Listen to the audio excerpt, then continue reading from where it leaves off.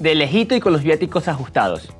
Como todos sabemos, el presidente Daniel Noboa envió como delegada por la paz a Israel a su vicepresidenta Verónica Bach, mediante el decreto número 30, donde derroga las funciones de la mandataria y donde también habla de la reestructuración institucional, al amparo de las normas de la austeridad y del gasto público. Desde que salió Bach a Israel, todos nos preguntamos, ¿cuánto cuesta su vida ya?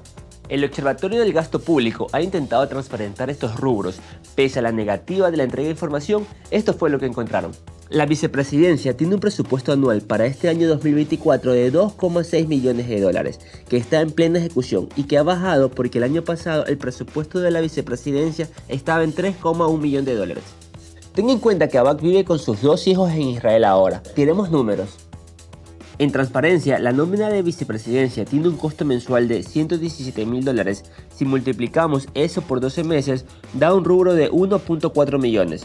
Y si tenemos en cuenta que el presupuesto para este año es de 2,6 millones, a BAG le quedaría 1.2 millones para buscar la paz en Israel.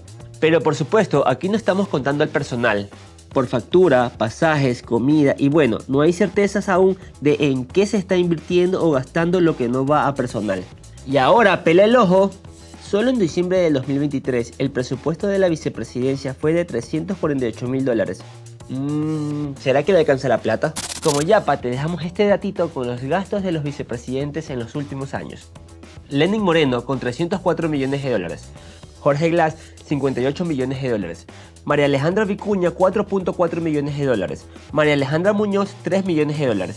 Otto Sonnenholzner 5,9 millones de dólares. Alfredo Borrero 7.9 millones de dólares. ¿Y tú qué opinas de todos estos gastos públicos? Mi nombre es Donald Díez y recuerda, esto es La Defensa y aquí defendemos la verdad con periodismo.